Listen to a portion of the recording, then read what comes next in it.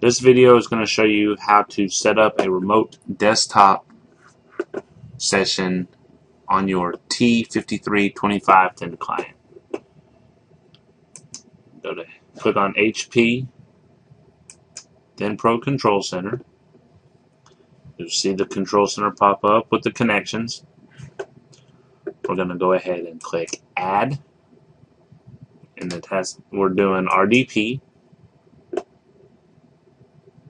Give it just a second, and it'll pop up the information. Name. We're gonna for this one, we're going to use Eagle as the example.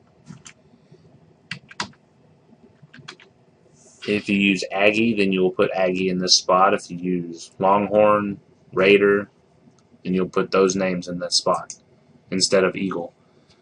We're going to use here, we're going to do Eagle www.qtrailer.com. You can here your username is optional. We'll go ahead and put mine for an example. And then the password you can put you can put your password here if you want. You don't have to.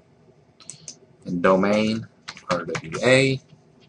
Go ahead and click finish.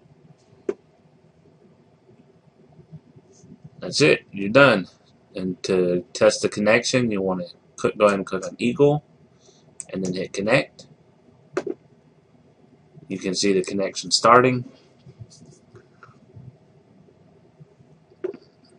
and there's Eagle. And then here you'll just type in your Windows username and password. Click OK.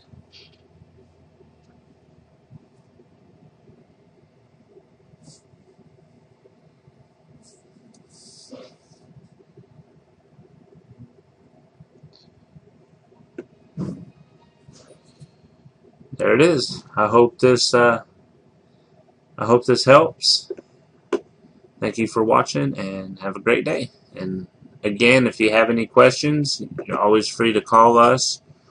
My extension directly is extension 27136. Or if you dial by this phone number is 817 406 1800.